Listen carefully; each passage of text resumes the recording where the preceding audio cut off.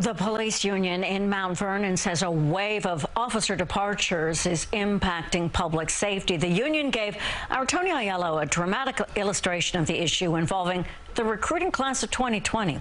Watch. Mount Vernon welcomed these nine officers in May of 2020, fresh out of the academy. Three years later, eight of them are gone, joining other departments that pay substantially more. Nicholas Mastrogiorgio is the Mount Vernon PBA president. A lot of these officers come here and they love the work and they love making a difference in Mount Vernon. So they really want to stay here. It's just that financially it doesn't make sense for them. Base pay after five years for Mount Vernon police is $92,000 versus $133,000 in nearby Greenburgh. The Mount Vernon PBA says with almost 90 departures and retirements since 2020, patrol cops here have on average less than two years experience.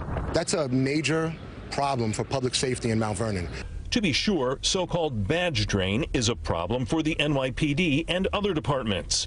Chuck Wexler is an expert with the Police Executive Research Forum. We're hiring is down.